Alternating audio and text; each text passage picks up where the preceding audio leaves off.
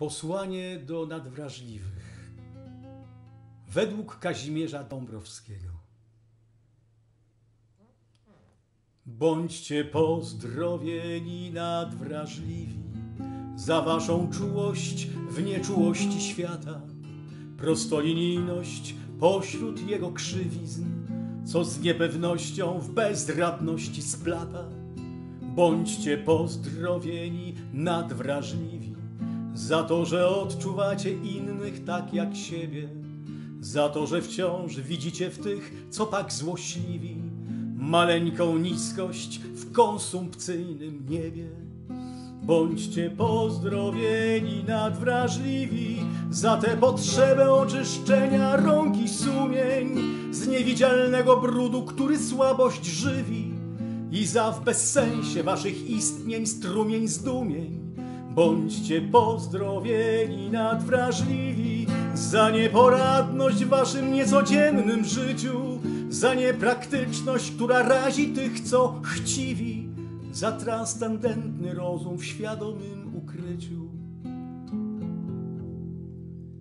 Bądźcie pozdrowieni nadwrażliwi za lęk, obawę, trwogę przed utratą bliskich, za waszą przyjaźń tak prawdziwą, nie na niby, za siłę, by nie mówić swojej prawdy wszystkim. Bądźcie pozdrowieni nadwrażliwi za waszą delikatność i twórczą ekstazę, za brak przystosowania do tego, co wstydzi. Choć doskonale wie, że mu to ujdzie płazem, bądźcie pozdrowieni nadwrażliwi za wasze niewykorzystane uzdolnienia, za wielkość ducha i przejrzystość braku winy, na której zna się tylko dobra matka ziemia. Bądźcie pozdrowieni nadwrażliwi za to, że zamiast leczyć innych was tu leczą, za to, że wasza boska siła innych brzydzi, niszczona jest przez siłę brutalną, zwierzęcą. Puenta.